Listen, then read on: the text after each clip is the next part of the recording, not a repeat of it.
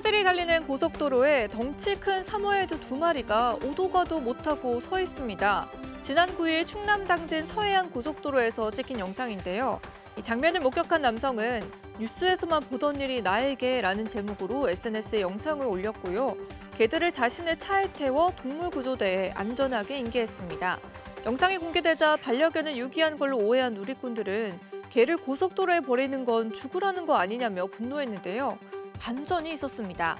어제 아침 개들을 보호하고 있는 동물보호소로 견주가 찾아왔는데 알고 보니 이 사모예드들은 고속도로 인근 주택에 살고 있었고요. 지난 8일 잠금 장치가 허술한 틈을 타 가출했던 겁니다.